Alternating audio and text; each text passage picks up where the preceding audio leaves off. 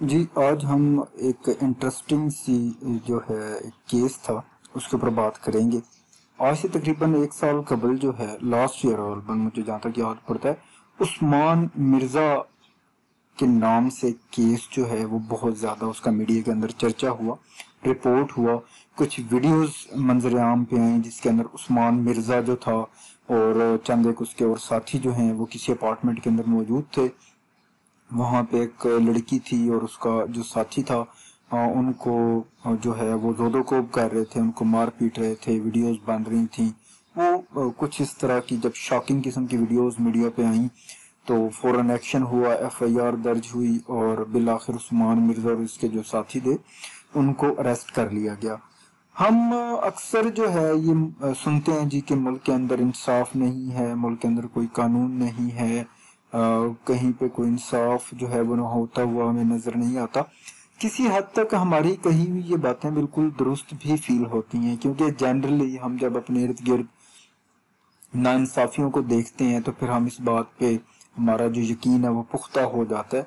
लेकिन अगर खुशकिस्मती से इस मुल्क के अंदर कोई केस अगर मीडिया के अंदर रिपोर्ट हो जाए, उसकी हाइप क्रिएट हो जाए तो तब इस मुल्क के अंदर इंसाफ लेना बहुत ज़्यादा आसान है और यही इस केस के अंदर हुआ।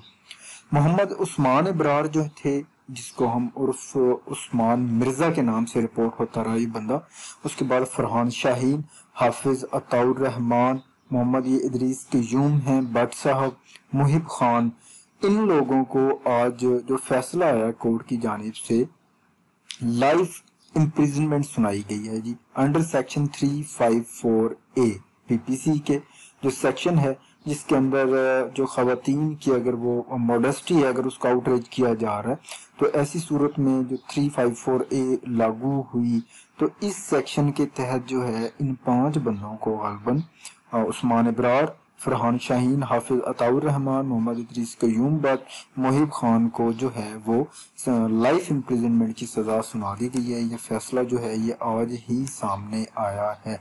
सोशल मीडिया पे ये पिक्चर थी ऑर्डर की। ये मैंने वहाँ से, मैं इसको ले रहा हूँ टेस्टेड कॉपी है, पच्चीस तीन की गलबन। तो ये आज का ही है। बहरहाल बात करने का मकसद ये था कि काश ऐसा हो जाता कि तमाम कोर्स ऐसे ही एफिशिएंसी के साथ काम करती हैं, जैसा कि जस्ट उन केसेस में काम करती हैं जो मीडिया के ऊपर हाईलाइट हो जाएँ। बहरहाल, ये तो वेलकमिंग डिसीज़न है कोर्ट का।